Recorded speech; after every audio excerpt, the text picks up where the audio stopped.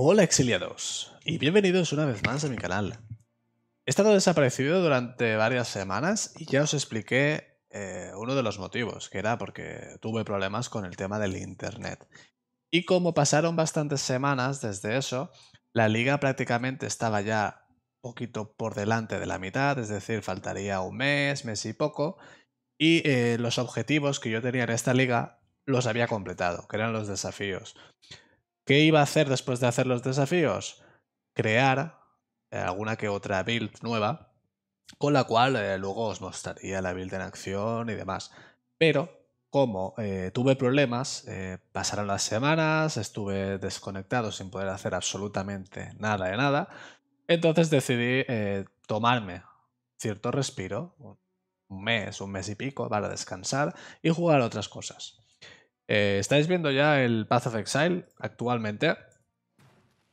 Eh, ¿Cómo lo veréis a partir de ahora en los streamings? Ya veis que ya puedo tener los gráficos muy altos. Aquí lo podéis ver. Estoy tocando las cositas porque seguramente hay alguna cosa que pueda desactivar y no me afecte en absolutamente nada. Pero básicamente ya puedo jugar con, eh, aquí veis los FPS, con todo a full los 130 FPS, 120. Estaba probando el tema de la iluminación, porque es algo nuevo. No lo he visto mucho, pero lo estaba probando ahora mismo. Y poco más. Eh, lo dicho, he estado desconectado de, de jugar en Path of Exile, pero no estoy desconectado de lo que serían las, las, últimas noticias. Estoy al tanto de todo lo que está pasando, absolutamente todo. Y hoy, en el vídeo de hoy, os voy a explicar las últimas novedades. Primero hablaremos de el, digamos, el fracaso absoluto de la BlizzCon. Más que nada para saber vuestra opinión y poder aportaros la mía propia. Y luego hablaremos un poquito de las últimas novedades de Path of Exile. Y esta semana se viene con muchísimas, muchísimas noticias. Así que vamos a ello. Así que nada, vamos a empezar esto hablando primero que todo de Diablo aunque hace años que no juego a Diablo, sí que estoy al tanto de ver las últimas novedades y demás. El hype que había con Blizzard desapareció hace mucho, pero cada BlizzCon tienes la esperanza de que pase algo diferente y algo mejor, orientado sobre todo al Diablo, porque los otros títulos de Blizzard realmente a mí no me afectan demasiado. Aunque tengo, por ejemplo, el Overwatch, que apenas jugué, pero bueno. Eh, más de uno lo sabréis, si no es que lo sabéis todos. La BlizzCon fue este fin de semana y digamos que había un panel dedicado a Diablo. Mucha gente se esperaba un Diablo 4, un Diablo 2 remasterizado, un Diablo 3 expansión.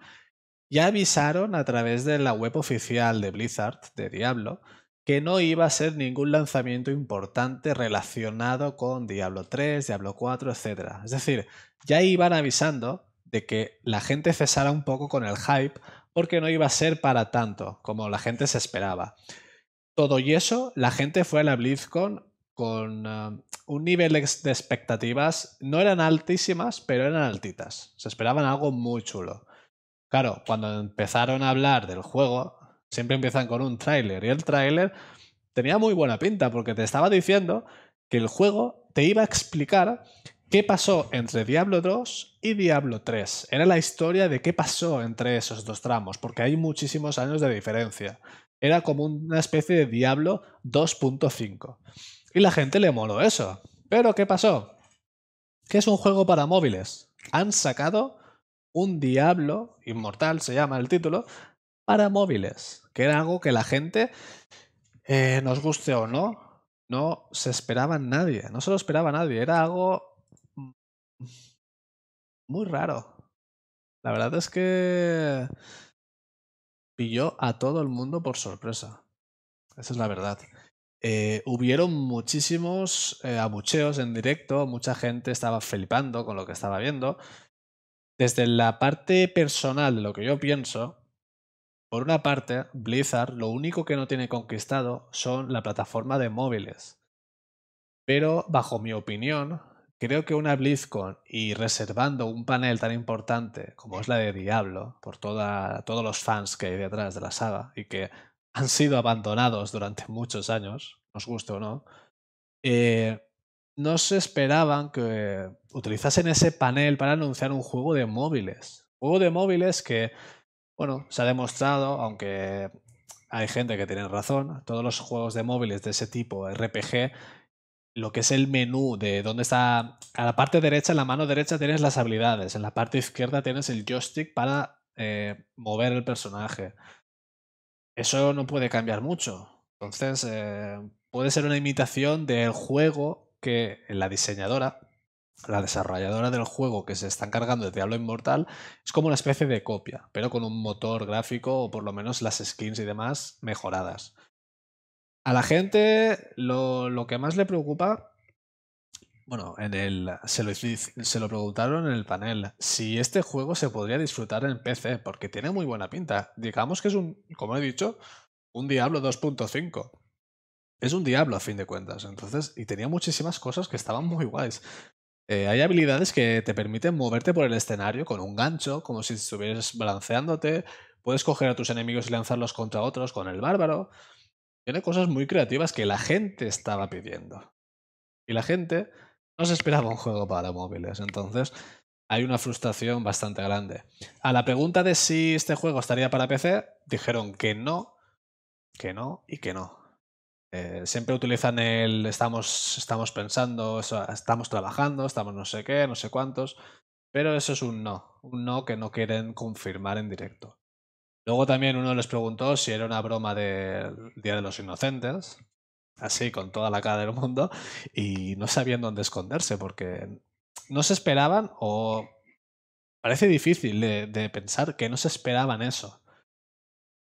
Estás utilizando un panel muy importante de la BlizzCon para hablar de un título para móviles, que bueno, estará chulo, seguramente vaya a vender si es gratuito a través de microtransacciones se van a forrar seguro, porque siempre pasa eso.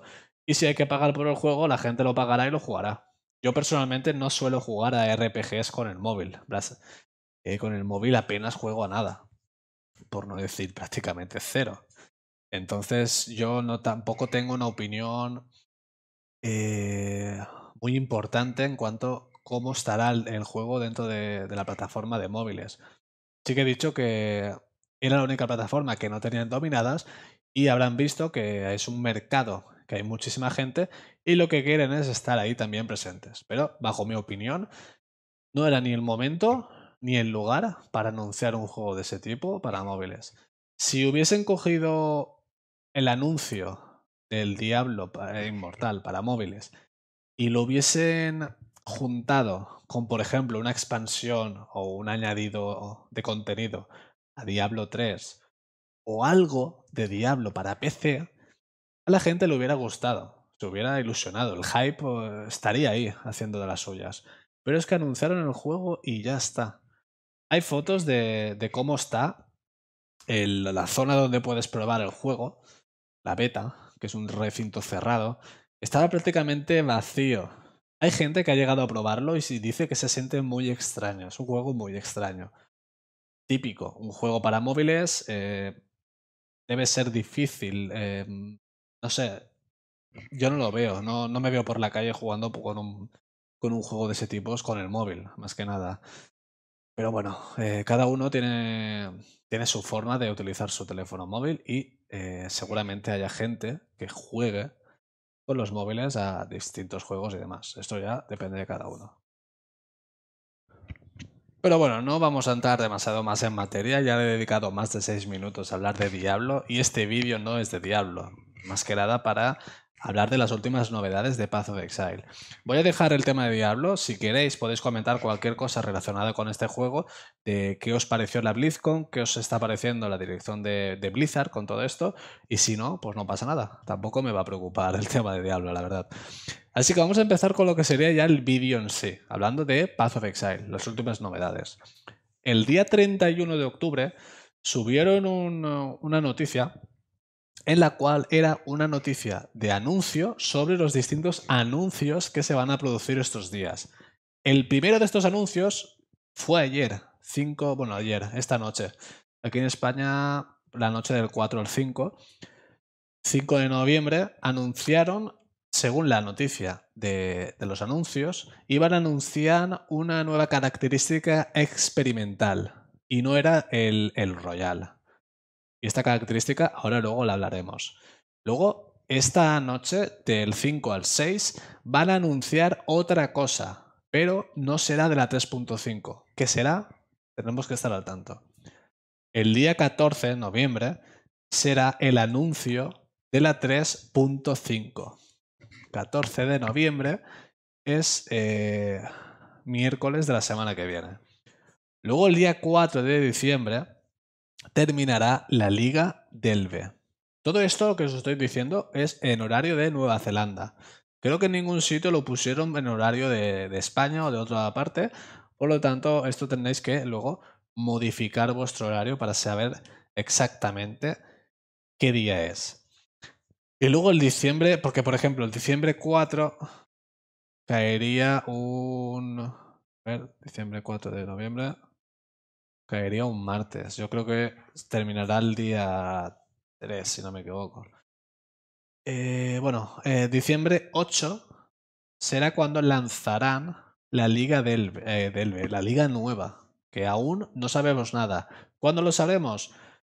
seguramente la noche del 13 al 14 de noviembre. Es ahí cuando lo tenéis en pantalla ahora mismo para ver cuándo va a ser todo, cada una de estas fechas.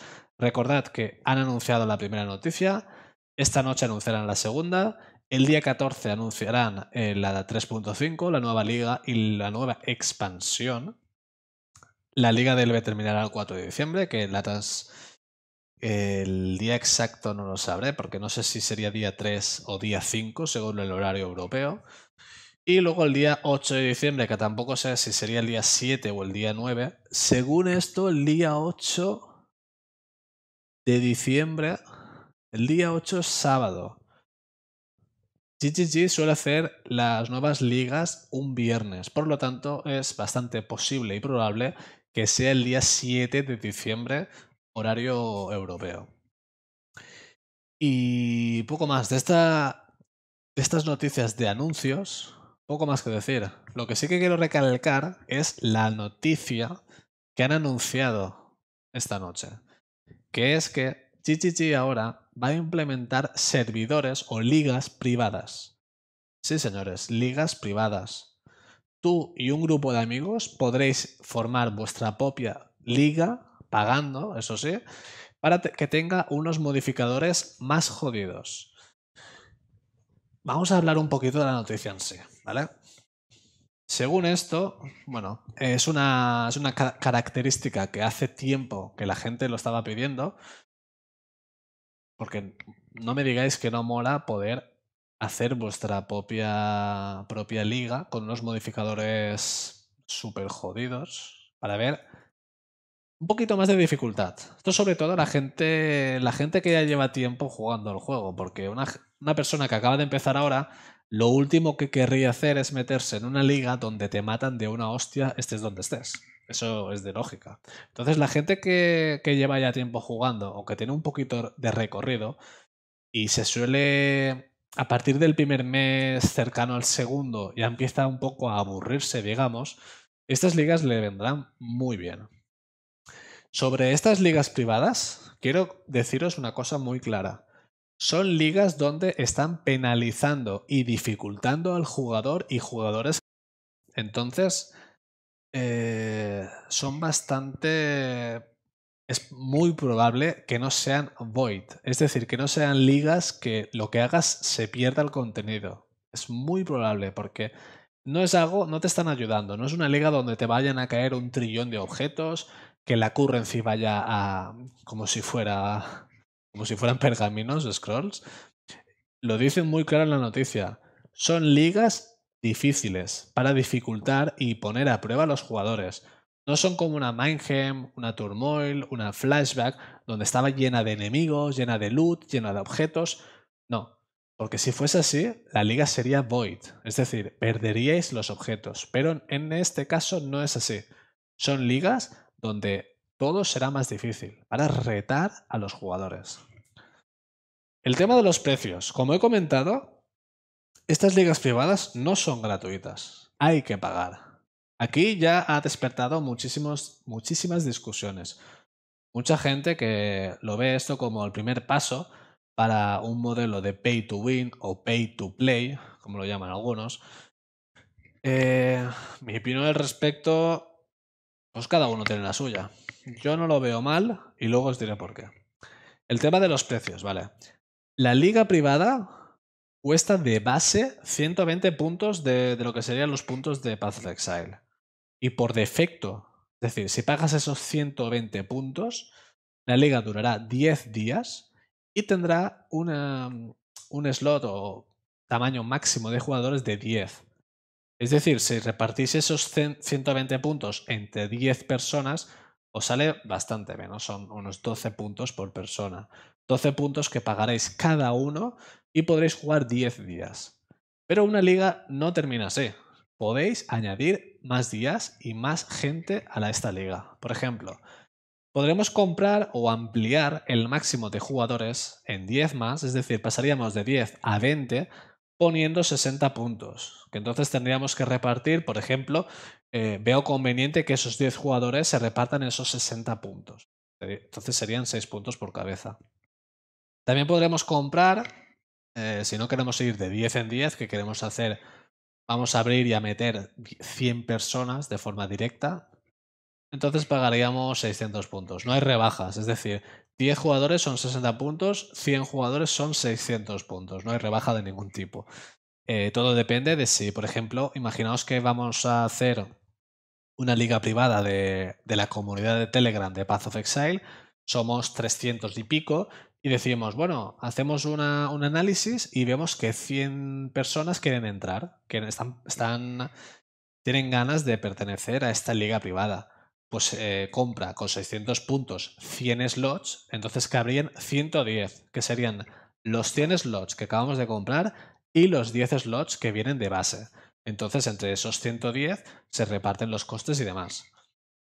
Eh, por el tema de, de la duración, de base son 10 días. Podemos ampliar otros 10 días con 60 puntos. Y podremos ampliar por 30 días, es decir, un mes, con 180 puntos. Han dicho que como mucho, por ahora, eh, la duración máxima serán de dos meses, es decir, 60 días. Que la verdad es que está bastante bien. Y durante la creación de cada una de estas ligas, lo interesante es que podremos meter modificadores, pero para aumentar la dificultad. Esos modificadores no costarán dinero. Podéis meter todos los modificadores que os dé la gana. Cuantos más haya, peor, peor experiencia porque va a estar súper jodido. Pero no os van a cobrar, por ejemplo, 10 puntos por cada modificador, sino que podéis meter todos los que queráis gratis. Menos mal. A ver qué más hay por aquí. Eh, vale. Eh, algunos ejemplos de modificadores que van a meter en la liga tenemos, por ejemplo, que se puede aumentar el daño, la vida, la velocidad, el daño elemental o incluso el número de proyectiles que lanzan los monstruos. Tendrá distintos rangos, es decir, podéis... Lo digo todo de, cabeza porque no hay demasiada información. Pero imaginaos que hay 5 tiers de vida. En el primer tier aumenta la vida de los monstruos un 10%. En el segundo tier un 20%. En el tercer tier, un 40%. Y así hasta el, 5, al, quinto tier, que a lo mejor aumenta la vida de los monstruos un 100%. Estoy, todo esto ya os digo que hay muy poca información, falta poner los valores, pero para que os hagáis una idea. Y cada uno de estos modificadores que os acabo de decir son, eh, digamos, están separados. Es decir, podéis aumentar la vida, el daño y la resistencia, o sea, el daño elemental pero a lo mejor no os conviene que tenga más proyectiles, por lo tanto esto lo dejáis a cero. El tema de las resistencias reducidas para los jugadores. Sí, señores. Podremos reducir nuestras resistencias para que sea más difícil caparlas. Hay un modo, un modificador, que nos impide utilizar el alijo. Es decir, todo lo que vayamos consiguiendo lo tenemos que llevar en el inventario. No se puede utilizar el alijo. Luego tenemos eh, un modificador que hace que no caigan. Es imposible que caigan objetos mágicos o raros. Solo os podrán caer objetos blancos u objetos únicos. Sí, los objetos blancos los podéis craftear con Transmutation, Alchemy, eh, Caos, etc. Pero de base no os van a caer ni mágicos ni raros. Esto va a ser una lotería. Luego hay otro modificador que eh, no hay vendedor, es decir, no podéis vender nada. No, si os cae, por ejemplo, un 6 socket, no podéis venderlo para conseguir jewelers porque no hay NPC, no podéis vender nada. Es decir, tenéis que equiparos con todo lo que os sale. Y luego había, bueno, hay, hay bastantes, bastantes modificadores. Estos son los que han mostrado ahora, pero dicen que van a meter más, que esto es una, una fase previa para que vayamos entrando en materia. Y la verdad es que tiene una pinta brutal. Modificadores que, como estáis viendo, harán que la experiencia de juego esté muy, muy guapa y entretenida. Recalco una cosa. Estas ligas privadas pueden llegar a ser muy jodidas, entonces le veo cero sentido que una persona que acaba de empezar en este juego se meta en una liga privada. No tiene sentido. Es como acabar de empezar a jugar a Path Exile y meterte de lleno en hardcore la liga más jodida que pueda haber, no sé, Nemesis o alguna de estas, que era una auténtica locura. Va a morir mucho y si no tiene una mentalidad de hasta que no llega al final no paro, a, los dos días va a dejar el juego. Entonces, recalco que esto es más orientado a gente que tiene un mínimo de ideas sobre el juego. Luego hay una especie de financiación colectiva. Eh, cuando creemos una liga, podríamos eh, hacer una especie de crowdfunding, que lo que consiste es que los jugadores que invitamos puedan contribuir a pagar por esta liga. Entonces, si somos 100 personas, lo ideal es que estas 100 personas paguen cada uno una parte proporcional para mantener la liga. No tiene ningún sentido que, por ejemplo, a no ser que seas Mazil, eh, Nuki, Cizarán, que tienen mucha pasta, por el tema del streaming, tiene cero sentido que una sola persona pague por mantener toda una liga él solo. Lo más normal sería que entre los 100, 200 o 300 personas que estén en, en ese servidor, que se repartan un poco los costes. Luego el tema de los desafíos, aquí está un poco, un poco lioso. Según entiendo yo, si cuando estás creando la liga activas la función de que esté activada la liga que está en ese momento, que imaginaos que sale, que sale en diciembre todo esto, y ya ha empezado la liga 3.5. Vamos a ponerle, no sé, cualquier nombre que, que, os ocurra.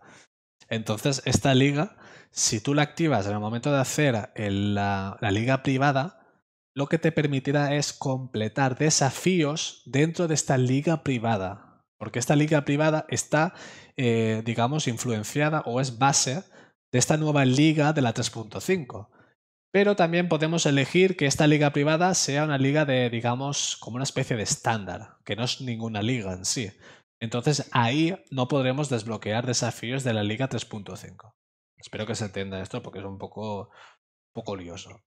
Y luego dice que el boe.trade, pero el propio de Path of Exile, que es pathofexile.com barra trade, eh, digamos que estará orientado, tiene un apartado donde podrá comerciar los que estén en estos servidores dedicados o privados. Entonces la gente que está en ese servidor no necesitará ninguna aplicación externa con, la página web de, de comercio de GGG, de Path of Exile, podrá hacerlo. Y por ahora, todo esto formará parte de PC. Para Xbox saldrá más tarde, porque primero seguramente quieran probarlo para PC para ver qué tal está y demás. Eh, estos días, semanas irán anunciando cosas. Recordad que, bueno, este vídeo lo voy a subir el lunes, día 5. Esta noche, día 6, cuando, este, cuando haga el cambio del 5 al 6, seguramente vayan a anunciar lo otro que quieren anunciar. Por lo tanto, mañana veremos qué es esta cosita. Os la comunicaré por aquí. Y bueno, ahora vamos a hablar un poquito de este, de este sistema. Os he explicado cómo funcionará, en qué consistirá y demás. Os dejaré en la descripción el link para que podáis leerlo por vosotros mismos por si os ha quedado alguna duda o queréis profundizar un poquito más. Mi opinión acerca de esto. Es algo que la gente de los jugadores de Path of Exile llevaban mucho tiempo pidiendo. Muchísimo tiempo. Y mucha gente pensaba ya de hace tiempo que esto se podría implementar como algo de pago.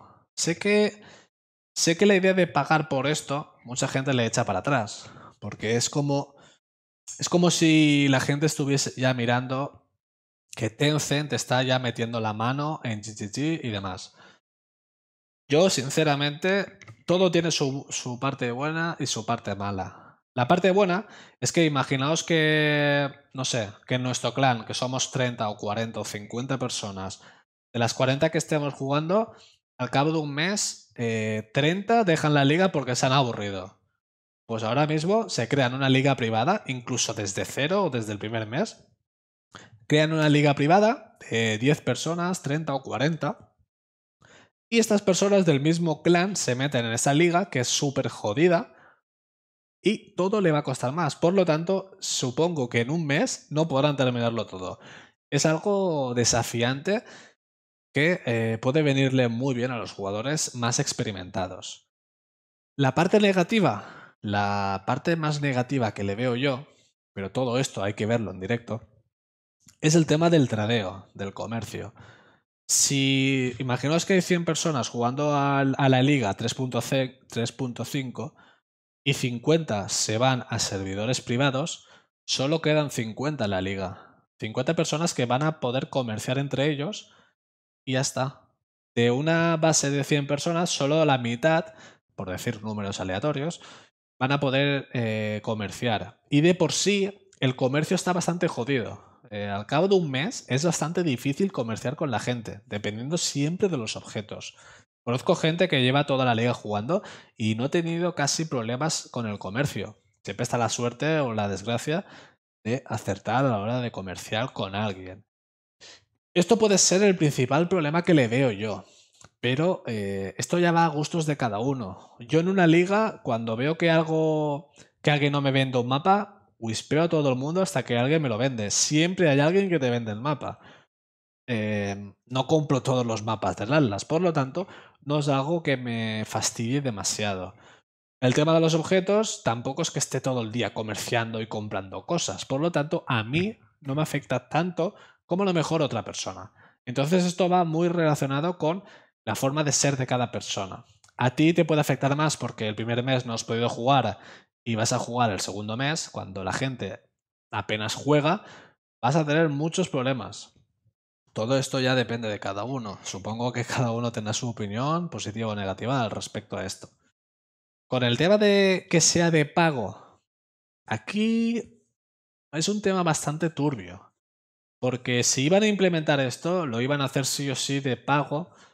Yo lo veía que iban a hacerlo de pago. Lo pidieron para que fuese de, aunque fuese de pago que lo metiesen, porque el pago, si hacéis números, es muy poco dinero. O sea, puntos, vas a gastar muy pocos puntos si sois bastantes. Una persona no puede pagar esto a no ser que tenga pasta. Entonces, ya de primeras, aunque le joda a bastante gente, esto para una persona sola no tiene demasiado sentido. Esto está hecho más para grupos de personas. Son ligas privadas. Es como si estuvieses alquilando un servidor de, Battlefield, por ejemplo.